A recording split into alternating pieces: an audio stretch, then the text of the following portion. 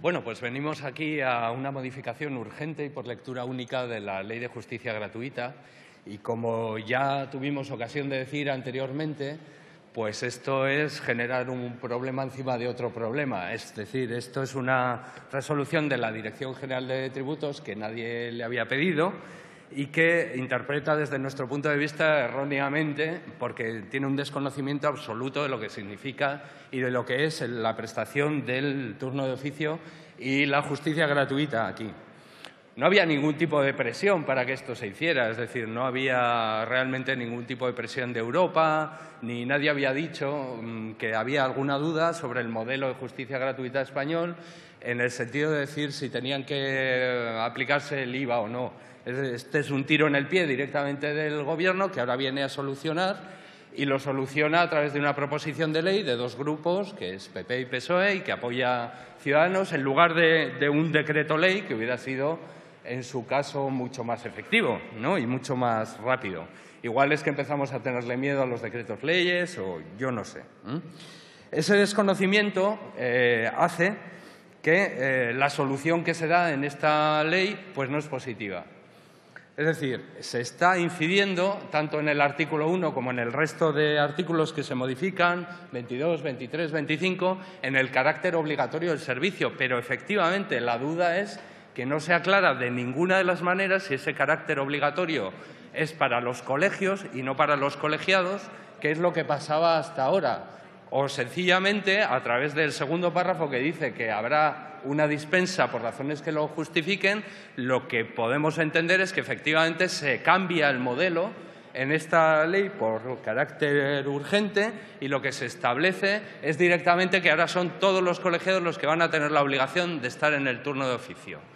Con lo cual, a nosotros ya nos suscita la duda, y tuvimos ocasión de decirlo, de que la falta de voluntariedad va a determinar una baja prestación o una baja calidad en la prestación del servicio cuando no, que a veces esto ya está pasando y algunos lo conocemos, un mercado secundario de, oye, yo no puedo hacer el, turno, me lo haces tú y luego ya apañamos este tema, etcétera.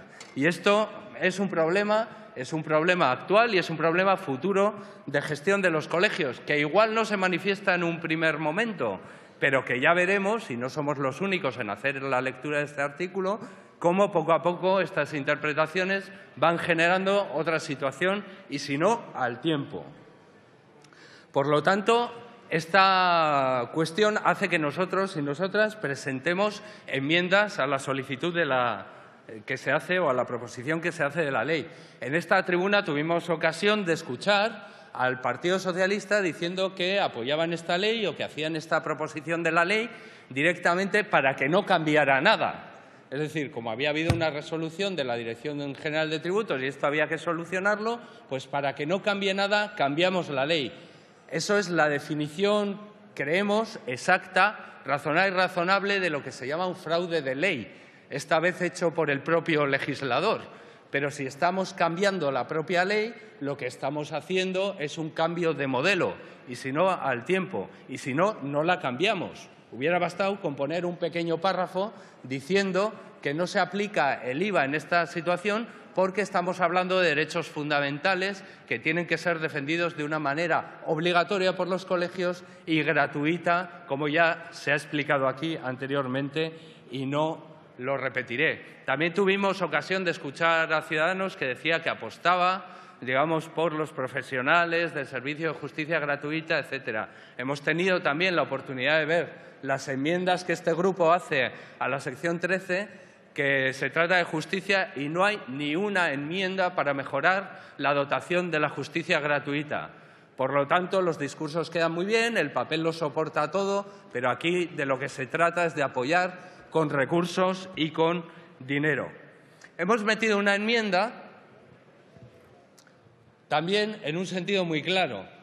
Estamos incumpliendo un tratado internacional, que es el Tratado de Arhus, que nos está diciendo que los profesionales, o sea, las entidades jurídicas que defiendan los intereses generales en materia medioambiental tienen que tener acceso a la jurisdicción y eso significa justicia gratuita. Y estamos diciendo que esto no se está aplicando en la mayoría de los casos porque hay muchísimas dificultades. Y esa enmienda parece que no la van a aceptar. Es decir, que ustedes le dan muchísima importancia cuando admiten determinados tratados o obligaciones internacionales, como podemos estar hablando del IVA o podemos haber hablado del CETA hace un momento, pero otros temas que también tienen muchísima importancia, como son los temas medioambientales, pues no le dan ninguna. ¿Incumpliremos nuestras obligaciones internacionales en la materia? Sí, lo haremos. ¿Seremos reprobados por la comunidad internacional? Sí, lo haremos. ¿No les importa? Evidentemente no. Por lo tanto, se dice que se quiere mejorar este modelo y, en realidad, lo único que se hace por este trámite urgente es añadir caos si no se aceptan estas enmiendas que también las, eh, presenta Esquerra Republicana y PDCAT en este, en este caso. Yo quisiera hacer un pequeño alegato final con este tema.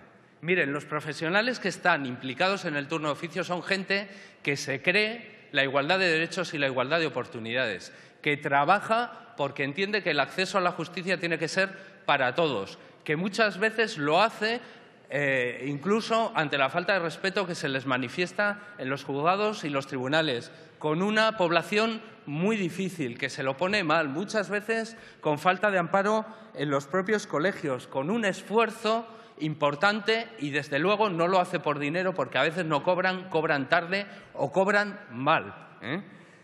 Se lo creen y es gente que da esfuerzo y que hace lo mejor y que representa los mejores valores de, de esta sociedad.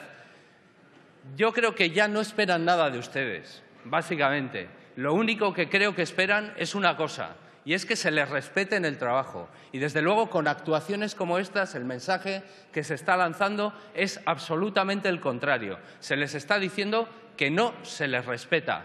Y nosotros, desde luego, estaremos al lado de ellos y valoraremos su esfuerzo, su trabajo, y por eso votaremos en contra de esta ley si no se admiten estas enmiendas.